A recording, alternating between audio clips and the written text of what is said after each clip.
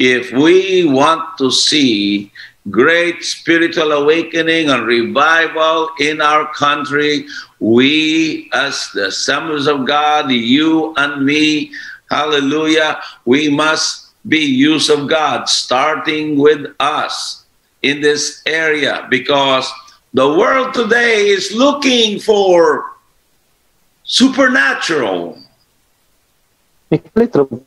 Uh, They're using for they're looking for something extraordinary to happen. In a time like this, they're they're waiting for hope.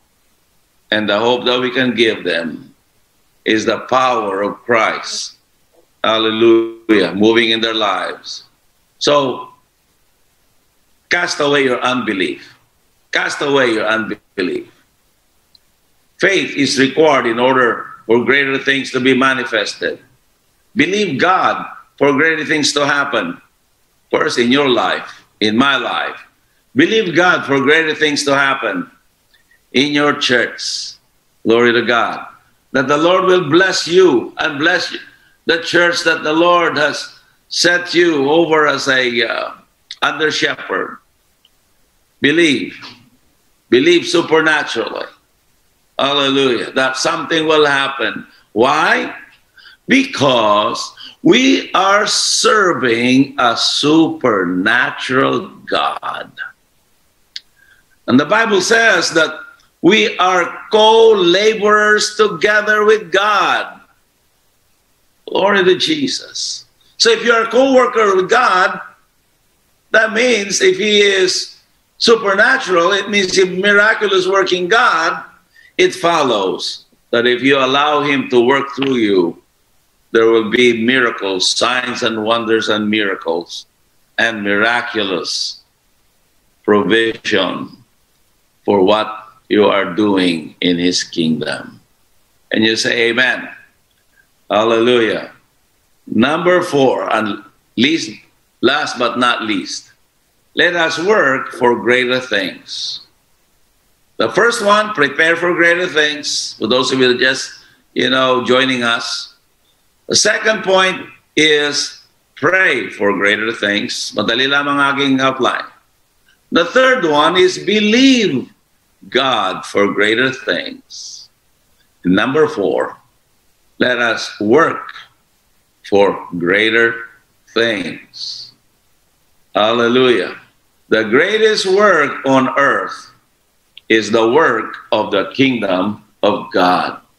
No other work is greater. Politics is good, is great, is necessary evil.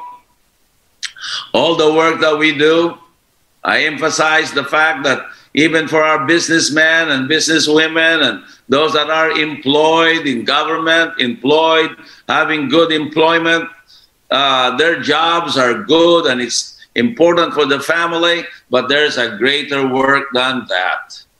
And that is the work of the kingdom of God.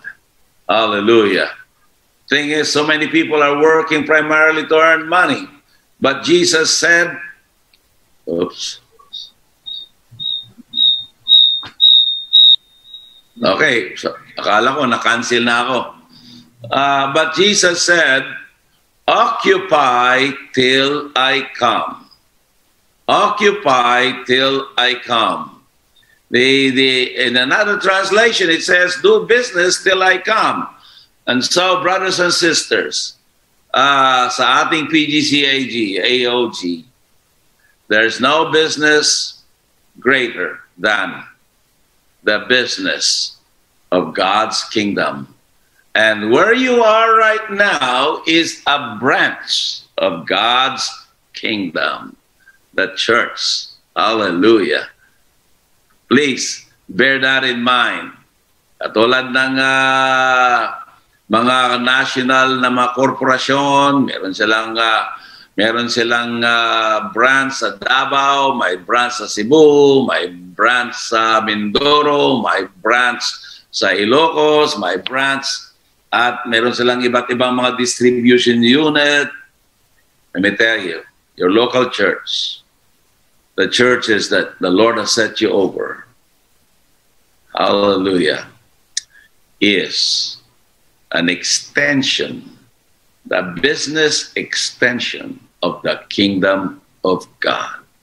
And the business that we do is not, you know, it's not primarily about dealing in money and real estate, etc. Though that's, you know, come with the territory. Those are just, uh, na natin, uh, friends benefits. If you do what he tells you to do, the most important business in the business of the kingdom are people, souls being saved, people being baptized in water, people being baptized in the Holy Spirit. Two nights ago, during our season of prayer, I just told them, How many of you need to be filled with the Holy Spirit? You have not yet baptized in the Holy Spirit. Come forward. There were hundreds who came, and many of them were filled, were baptized in the Holy Spirit, and spoke in other tongues. We need to get back to the basic business for which God has called us. Amen.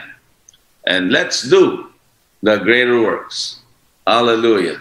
Three things you can do with your life. You can apply this also. Three things you can do with your life. You can waste it you can waste it. It's a sermon in itself. it's a sermon in itself. You can waste it. And a lot of people, they're wasting their life, wasting their time, patambay-tambay lang. And some, you know, if you're not careful, bisag sa ministry ka, you, you do a lot of time wasters. hey, eh, just don't wait for Sunday to come along, man.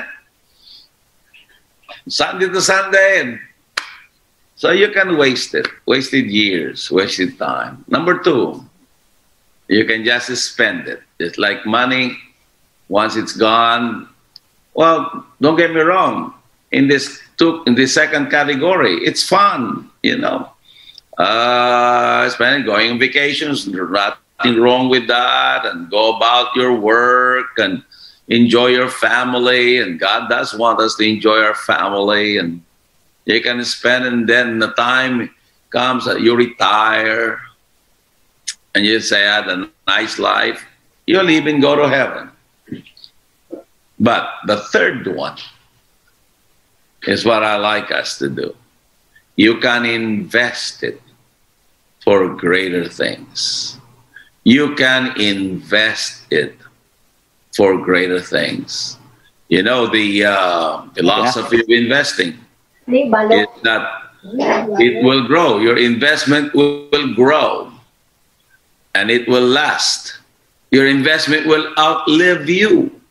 So kung nag-invest ka, you know, when the Lord takes you home, it's uh, your children will uh, inherit it, your grandchildren.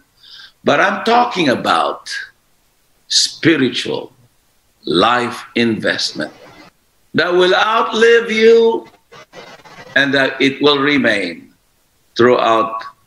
And it and it will remain throughout all eternity. Amen. Father i thank you for your goodness to us. Bless your word to our hearts. In jesus name we ask these things. Amen and amen. All right. And uh, I think we, Pastor Jerry, give us an update.